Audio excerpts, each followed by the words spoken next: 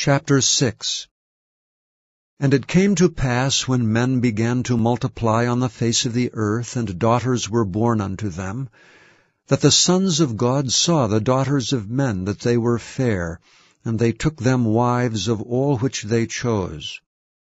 And the Lord said, My spirit shall not always strive with man, for that he also is flesh. Yet his day shall be an hundred and twenty years. There were giants in the earth in those days, and also after that, when the sons of God came in unto the daughters of men, and they bare children to them.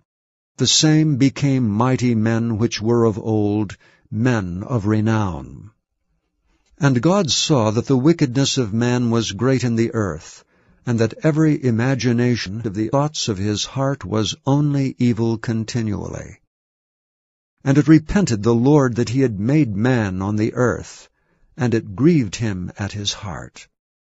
And the Lord said, I will destroy man whom I have created from the face of the earth, both man and beast and the creeping thing, and the fowls of the air, for it repenteth me that I have made them. But Noah found grace in the eyes of the Lord. These are the generations of Noah. Noah was a just man and perfect in his generations, and Noah walked with God. And Noah begat three sons, Shem, Ham, and Japheth. The earth also was corrupt before God, and the earth was filled with violence. And God looked upon the earth, and behold, it was corrupt, for all flesh had corrupted his way upon the earth. And God said unto Noah, The end of all flesh is come before me, for the earth is filled with violence through them, and behold, I will destroy them with the earth.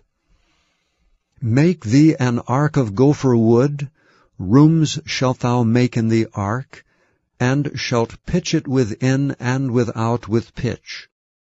And this is the fashion which thou shalt make it of.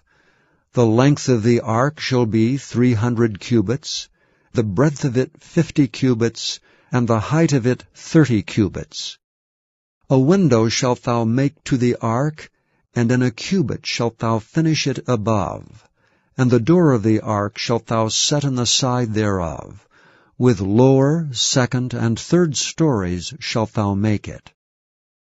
And behold, I, even I, do bring a flood of waters upon the earth to destroy all flesh, wherein is the breath of life from under heaven, and everything that is in the earth shall die. But with thee will I establish my covenant. And thou shalt come into the ark, thou and thy sons and thy wife and thy sons' wives with thee. And of every living thing of all flesh, Two of every sort shalt thou bring into the ark to keep them alive with thee.